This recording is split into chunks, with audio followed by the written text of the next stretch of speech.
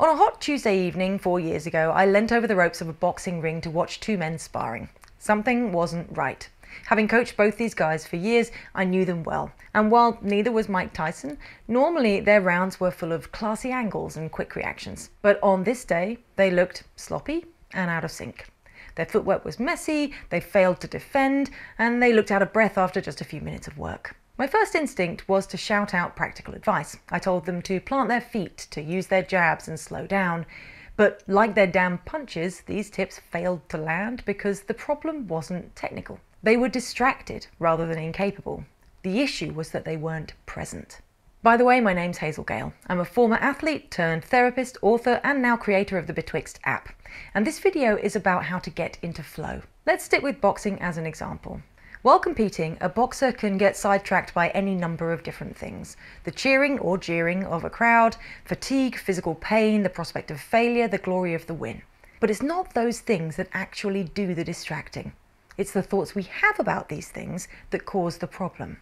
Basically, thinking really gets in the way when we need to perform. And if we want to get into flow, which we all do in one place or another, then we need to find ways to avoid the lure of internal distraction and give our minds the kind of framework that helps us to switch into a state of all consuming focus.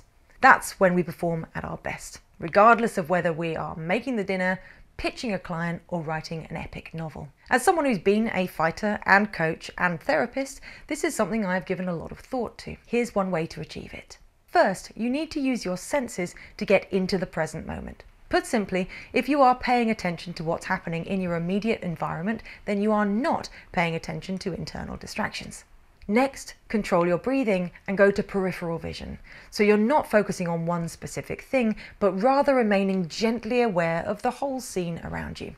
This is important because when we're in a state of psychological rest, we automatically breathe a little slower and unfocus our eyes because our minds think that there isn't a threat that we need to focus on.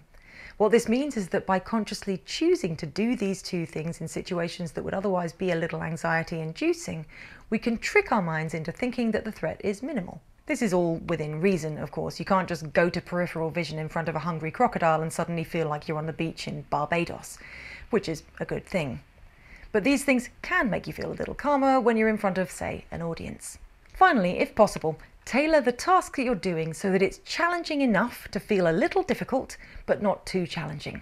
You can get into flow while doing something easy and routine, for example, but only if you introduce enough challenge for your mind to have to pay attention. And you can get into flow during difficult, complex tasks, but only if you've practiced them enough to be competent. No beginner boxer will ever get into flow during their first round of sparring. Thankfully, the two guys I was coaching on that sweaty Tuesday evening weren't beginners.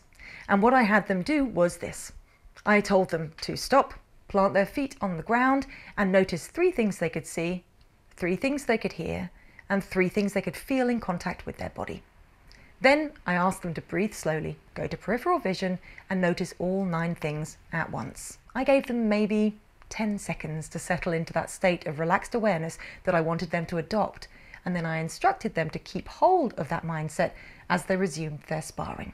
And as all of that was going on, the energy in the ring changed. It felt at once calmer and more energized, as if something really awesome was about to happen. When the round began, it was like I was watching two completely different athletes. Suddenly, their movements looked considered and controlled.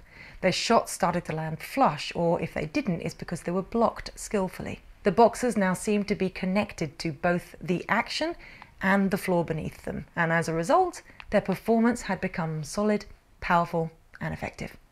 They were back in the game. As always, I really hope this helps.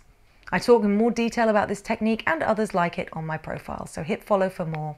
And if you'd like to take an epic journey through a magical world in pursuit of mental wellness, then you can download Betwixt, the mental health game, a fantasy text-based adventure app that combats stress and anxiety.